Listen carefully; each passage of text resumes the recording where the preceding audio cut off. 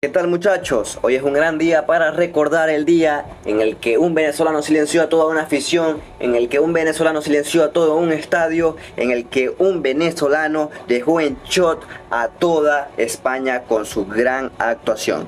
Y no es la primera vez que pasa esto, ya muchos venezolanos han hecho estas grandes hazañas, en las cuales han dejado grandes actuaciones, han callado bocas y han sorprendido a muchas personas. Tal han sido estos casos como la noche maravillosa de Juan Arango contra el Barcelona, la noche maravillosa de Rondón contra el City de Guardiola, la noche en que Jefferson Soteldo se ganó el respeto de Neymar Jr. y el día de hoy, la noche en la cual Yangel Herrera silenció a todo un estadio y prácticamente dejó humillada a toda una afición. Y es que no era cualquier afición, era la afición de su ex equipo, al equipo en la cual la temporada anterior le había dado muchas alegrías. Y pues vamos al lugar de los hechos, ya está más que confirmado que el español Girona es un derby con todas las letras, un partido con mucha intensidad que se vivió desde el minuto 1. Y todo comenzaría también en el minuto 32 cuando Tony Villa adelantaría el equipo del Girona, el equipo de la ciudad de Barcelona,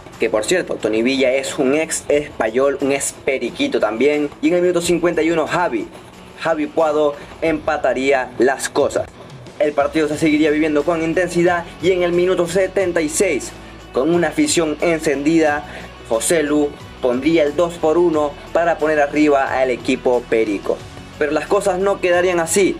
En el minuto 80 la afición empezaría a gritar a Barça, calentando así a los jugadores del Girona y no sería nada más ni nada menos que el venezolano Yangel Herrera el que se encargaría de vengar a la ciudad de Barcelona, el que se encargaría de silenciar a todo el estadio y de poner en shot a todos los que asistieron con un buen centro que Ángel Herrera pondría el tanto que empataría el partido y pondría las cosas iguales para el español que necesitaba urgentemente los tres puntos para subir en la tabla de posiciones.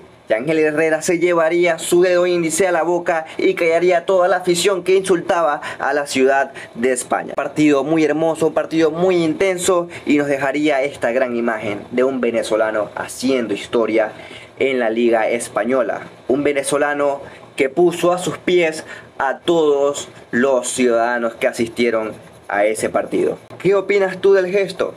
¿Te parece bien? ¿Te parece mal? ¿Se dejó llevar por la presión, por la intensidad del partido? ¿O está muy bien visto que Yangel Herrera silencia así a todas las personas? Déjame tu opinión en la caja de comentarios. Gracias por acompañarme en esta historia el día de hoy. Recuerda, yo soy Rome B y estás en el mejor canal de fútbol venezolano. Nos vemos en la próxima.